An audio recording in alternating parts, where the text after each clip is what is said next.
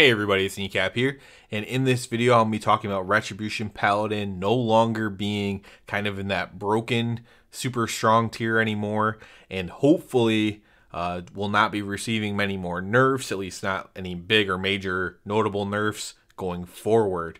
Uh, so I finished up another round of Mythic Plus testing. They brought Mythic Plus back this weekend, and this is, you know, on a Friday, and I got into you know a handful of Mythic Plus dungeons, uh, Halls of Valor a couple times to which is what you'll see in the background here.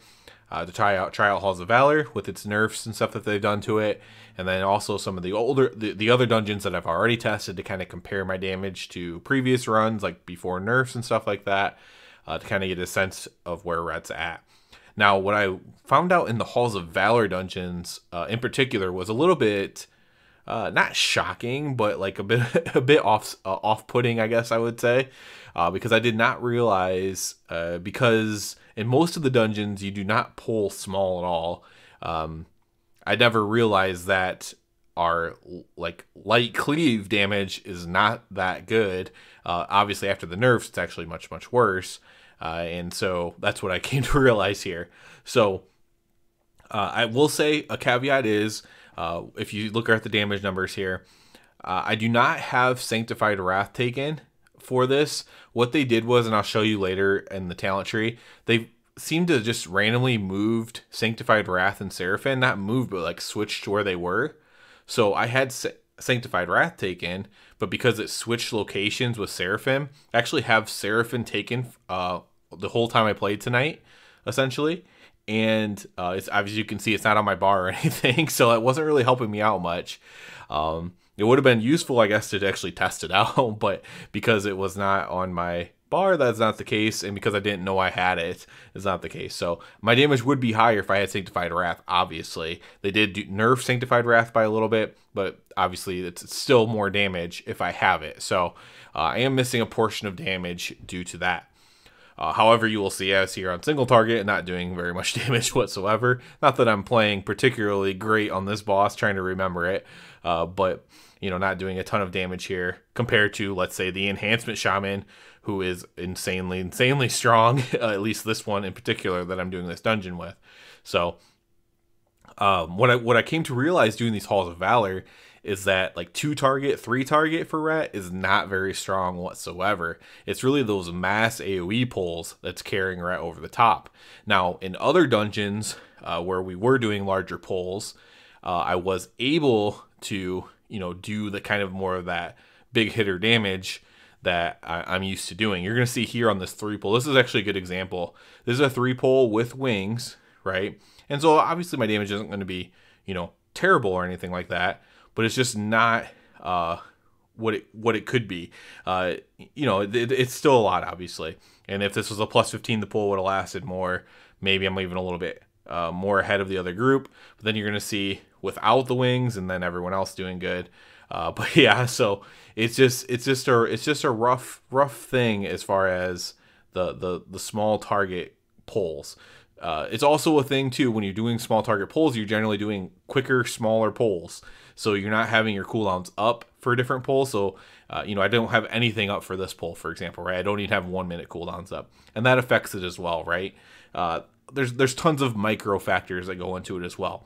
The overall thing I wanted to point out is just that our cleave damage, our two three target damage, is nowhere near as strong as our mass AoE damage. That's kind of just the only point I want to make here. It's not that we're terrible or bad or whatever, maybe middling, maybe whatever, maybe average, but it's not as strong as our high damage. I think you have to factor that in, right? Every time you nerf Divine Storm, you're nerfing Divine Storm for 20 targets, but you're also nerfing Divine Storm for two targets, right? And if we get back to the place where it's better to use a single target rotation uh, for two or three mobs, I, I don't think that's a good place personally to be in. So I do not want to see that happen. And maybe something tuned properly, like Executioner's Wrath tuned properly, would kind of solve that problem, even, which is definitely possible. So instead of like Final Reckoning, you go down like an Executioner's Wrath path instead. That's the execution sentence that does like uh, cleave damage essentially. So maybe that could be you know a solution for that. Uh, but you know it's not properly tuned right now to even test that out. but that is like a solution to it. So um, I would say as far as mass AoE, so let's talk about the mass AoE pulls. Still really strong there. Like I said, I was doing it without Sanctified Wrath, and and that's a good chunk of damage, especially on big pulls.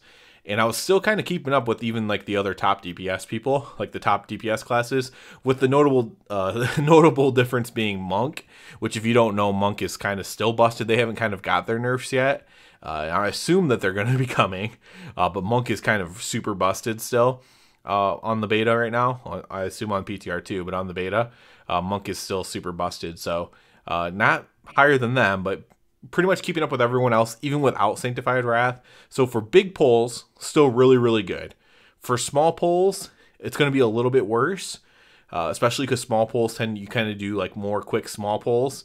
Um, you know, obviously if you if you have your one minute up at least for every pull, that's going to change things a little bit. Higher dungeon key could also do that, right? This is only a level 10, just trying it out. Maybe in level 15, I at least have my one minute up every single pull. That changes things a lot. I'm not doing a pull with no cooldowns essentially, uh, which obviously feels terrible. So uh, that could change things a lot too. But definitely not. There's just a noticeable difference between massive and small pulls. Uh, as far as single target, still kind of middling there, right? Not not great single target either. And so overall, I would say Ret is kind of um, middle to top third ish as far as like just straight damage goes right now. That's just a roundabout guess, right? That's just from my experience from playing with other classes and seeing what their damage is like on different types of content, whether that be the raid testing or in these Mythic Plus dungeons, uh, seeing what their their damage profiles kind of look like. So it is it is a little bit of a guessing game, of course. But I would say Ret currently damage wise is middling to top third and heavily carried by big AoE. So big pulls, big AoE, lots of ads. Heavily, heavily carried by that, I would say. So I would say that's where we are right now. I also want to address something too before we go in and talk about some of the talents in the game, uh, real quick. I do want to address something else too, and that's just that something I get a lot. I don't probably put enough credence into it as much as I should. Is people ask a lot, should I play Ret Paladin? Right? That's that's kind of like a streamer joke. Uh, streamers say that people always ask if they should play their class or whatever. Uh, they come into their chat or whatever, and I think that's it's a valuable thing because people want to know, they want to kind of plan what they're going to play and stuff like that. And I would say, and I'll just straight up answer the question right now: uh, if you are someone who feels like the need to pick your class right this moment, pick your spec right this moment, should you play Ret Paladin for Dragonflight? I would say no. And that, it doesn't make me happy to say that, of course. Uh, but I would say right now we're trending down. Like I said, we went from being like the super broken spec on the beta PTR to now more of a middling or maybe top third. But we still do not have the mobility. We still do not have spell warding. Um, so we don't have like the utility usefulness, and we still do not have more Art of War procs, which makes playing it more fun, playing Ret more fun. So I would say in every important area, we've trended down throughout the beta, including just flat damage. So, um, you know, mobility, utility, fun, and then also damage have all trended down. And unless that trend breaks, and if that if that trend if they, if they give Ret spell warding back and increase the art of war procs by a lot, then I might have a different answer. But if I had to answer right now, I would say no. I would not suggest that you try out Ret Paladin for Dragonflight. Uh, it makes me sad to say it, but it is the case. So uh, let's go ahead and look at the talents here. So one thing I was testing out uh, tonight was uh, Paragon versus Divine Purpose. I don't have any you know definitive results on that yet. I, I didn't do enough dungeons to really say one way or the other, and the dungeon profiles are so different, such as Halls of Valor being a bunch of small pulls versus you know Ruby Life pools, where you can do some pretty big pulls, uh, as another example there. So uh, you would have to do the same dungeon many many times, in my opinion, uh, which I might be able to do this weekend. Uh, but no definitive answer there in Divine Purpose versus Zealot's Paragon for AoE. I have a feeling with the Zealot's Paragon being 0.5 and um, then Divine Purpose is better for AoE. That would be my guess, right? That's kind of a easy assumption to make if you play Ret a lot. Uh, but that's kind of my guess, but we'll see for sure uh, how that works out. If I can do the same dungeon, like, you know, maybe 10 times and, and see, or, or close to that, and see what it's like like I said, so the odd thing down here as far as this goes is they switched Seraphim and Sanctified Wrath. So I actually had Seraphim, like I said, taken for the entirety of my play session tonight. uh, losing out on a lot of Sanctified Wrath damage. Now, I didn't test it out because I'm still playing Might for uh, Mythic Plus right now, but Crusade uh, should work with Sanctified Wrath now based on the last uh, hot fixes supposedly that went in. It should be working. I, I guess I, ha- I haven't tested that out yet. So that makes Crusade much better for um, Mythic Plus now since it's working properly. So, you know, obviously that's worth testing out and playing as well to see. Uh, it's going to depend on, again, your pull length. Are you getting are you getting full uptime of your wings? If not, then might probably better if you aren't getting full uptime on your uh, wings because the pole's not long enough, for example, right? Ex- Exorcism still not doing any damage. So this is one area where we could be buffed uh, to make us a little bit stronger, and that's if Exorcism is buffed to do anything. If this talent choice, Incandescence Touch of Light, is buffed to do anything. Um, you know, Seal of Wrath does nothing, Expurgation does nothing, and Truth's Wake does nothing. So we have one, two, three, four, five talents that effectively don't do anything. Uh, yes, they will appear in your details. Uh, they will appear at the very, very bottom of your details if you if you use them. Uh, so uh, you know they, they they exist, they work, they just don't do any damage. So uh, I would love to see that switched. They did also um, revert the ashes to dust change from a 20% back to 35%. So I don't think Radiant Decree is just like a slam dunk anymore as far as that goes. I think they also nerfed Radiant Decree a little bit in the patch notes or in the hot fixes. So uh, Ashes to Dust could be back on the table for AoE, especially. Um, I was playing Radiant Decree tonight, but I am going to go and kind of compare that with some Ashes to Dust procs and see if that helps damage as well uh, for AoE. So uh, that's a good thing to look at as well. But overall, uh, as far as the talents go, this is probably what we're going to have going in. Um, and it's it's the same issues I just talked about it on if you should play Ret or not, right? Uh, we still the Divine Steed's probably not getting anything changed at this point, unfortunately. So mobility is going to be crap. Uh, it's just kind of the way it is. And then um, utility, uh, I, I do use my battle res a lot in these uh, beta mythic plus dungeons. I do use my battle res quite a lot, so that is utility. Uh, but not having the spell warding really, really kind of sucks. I'm not gonna lie. Uh, it kind of stinks not to have that. And so that's utility, usefulness that we don't have because you can also cast it on somebody else, right? And then more Art of War procs. I always scroll over Blade of Wrath when I say that because that's kind of what they nerfed essentially to get the less Art of War procs. Um, maybe meet in the middle somewhere in Art of War procs. That makes the spec more fun to play. And I would, I'll stick by that 100%. For AoE, uh, and I'll give these numbers again, just feedback purposes if you haven't watched my videos before. Uh, in AoE, it's like 10 to 15 seconds per minute. you like assuming you're playing. Well, either way, it would be a one minute cooldown for execution sentence too. Uh, so for AoE, uh, like let's say I'm saying if Executioner's Wrath ends up being better for like two or three target than Final Reckoning, uh, then you would take that.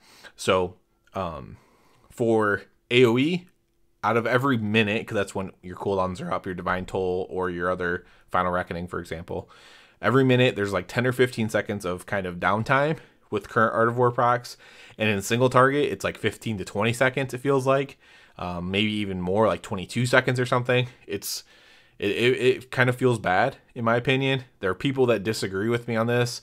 I will. I, I I've just played this enough on beta to just say that I just think those people are wrong and that it is just the case that we need a few more Art of War procs. It doesn't have to be where it was before. Where it was before, you were getting them to the point where you couldn't even spend everything fast enough. Like I was still obviously using them because you get a free consecration with it and everything like that, right? But like you were you were getting it so fast you couldn't spend everything. Um, like you, you were sitting on other buttons to spend your Art of War procs, like for example, right? So it doesn't need to be that high by any means, but it does need to be higher than where it is now in my opinion, to kind of eliminate that downtime uh, every minute or whatever. And single target, it's worse because um, as far as cooldowns go, you're not using Final Reckoning. You currently aren't using Execution Sentence because it's really not very good right now.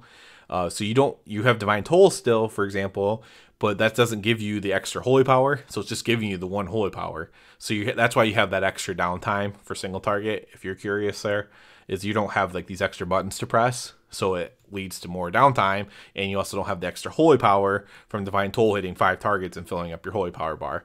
So uh, you have all these other issues with single target. So more Art of War procs, please. That's the biggest thing. That's the biggest thing that we can hope to accomplish. If we get more Art of War procs, I would say to focus then on spell warding.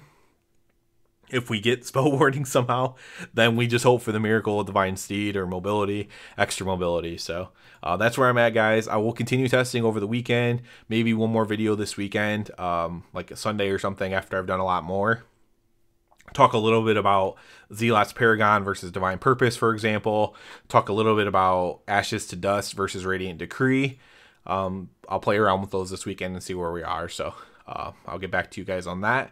As always, I do ask you to please subscribe to the channel. It helps me out so much. And other than that, everybody, have a good one.